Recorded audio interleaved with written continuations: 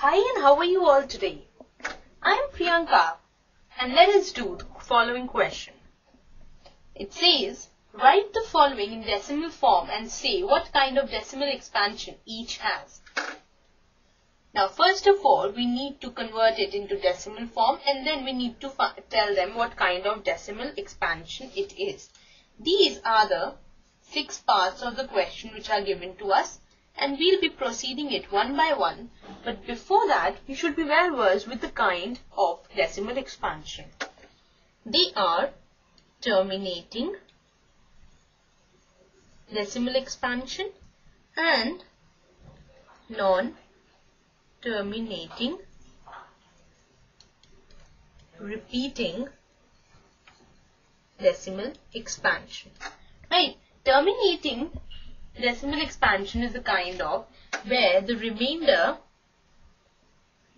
does not repeat itself or remainder is equal to 0 in this case. Whereas in this case, the remainder repeat itself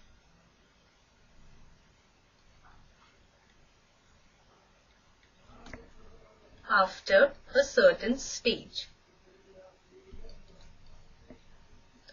Right, so the knowledge of the kind of decimals is the key idea we are going to use in order to proceed on with our solution.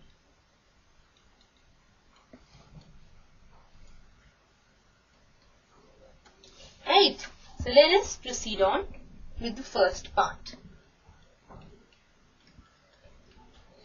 The expression given to us is 36 by 100.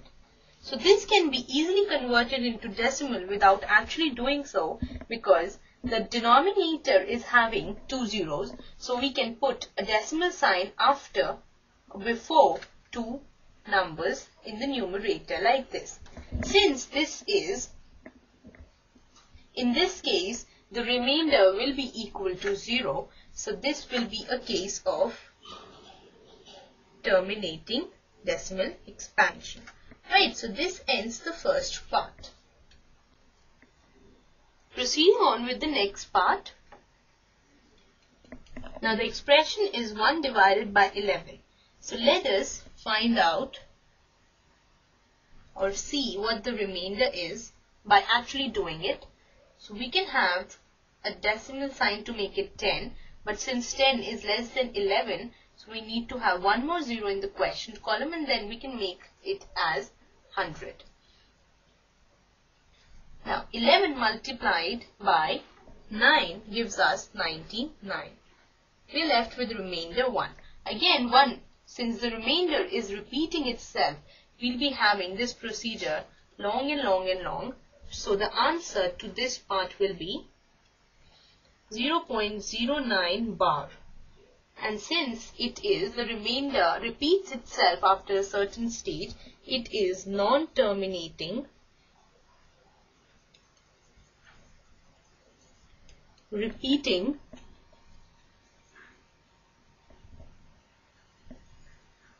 decimal expansion, right? So this completes the second part.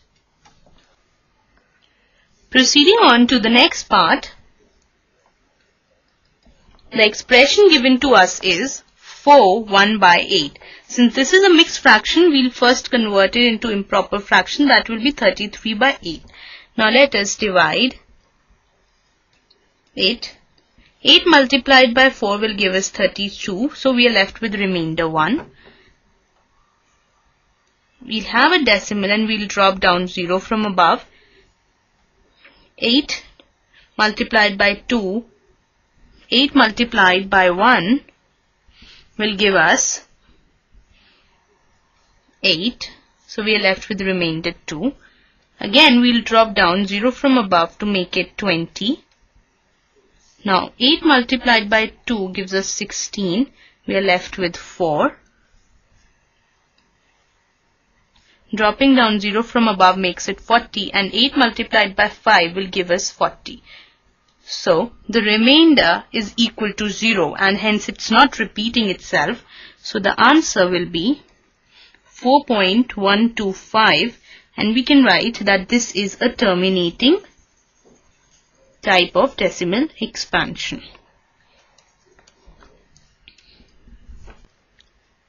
The fourth expression given to us is 3 by 13. Let us divide it. Again we need to have a decimal. 13 multiplied by 2 will give us 26. We are left with remainder 4. 0 will be dropped down from above 13 multiplied by 3 gives us 39. We're left with remainder 1. Again, dropping down 0 from above makes it 10. Now, we need to have, since 10 is less than 13, we need to have one more 0 dropping down simultaneously. So, we'll be having a 0 sign above. Now, 13 multiplied by 7 will give us 91. So, we are left with remainder 9.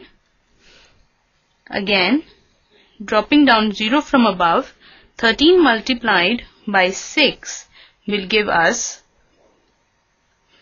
78. We are left with remainder 12.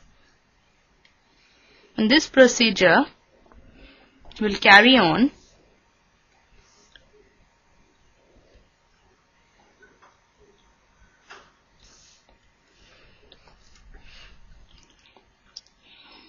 117 we are left with remainder 3 now this remainder is repeating itself from the place where we started.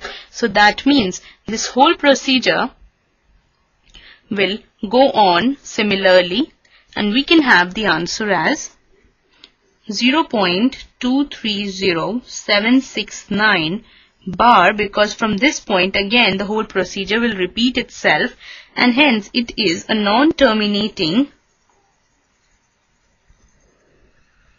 repeating decimal expansion. Right, so this completes the part. Proceeding on further, we have 12 divided by 11. Now, let us divide it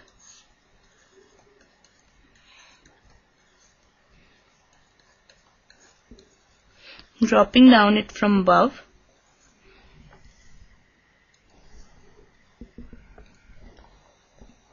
Now 11 eighths are, we'll have 88.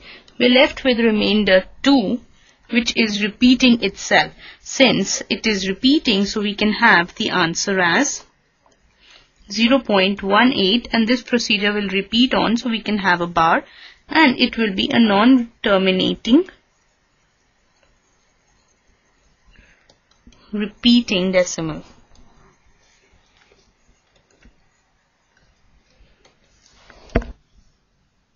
Proceeding on with the last and final part, we have the expression as 329 divided by 400.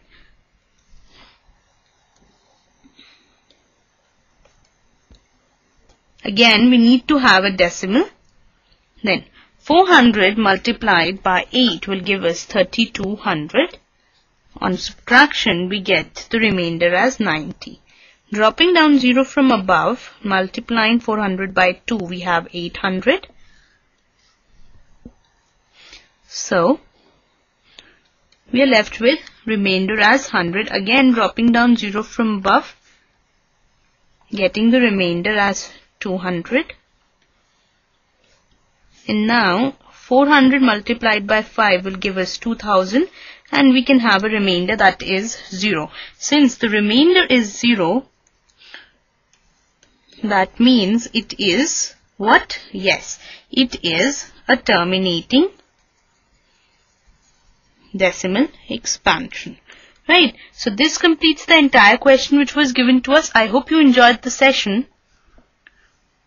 And remember what are terminating and non-terminating repeating decimal types. Alright, bye for now.